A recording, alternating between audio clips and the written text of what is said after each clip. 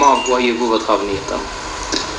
Euh, Peut-être pas toujours en rose, mais je vois quand même que je dois pouvoir courir encore 5, 6, peut-être 7 ans. Alors je dois pouvoir, dans ce temps-là, réaliser encore un bon palmarès.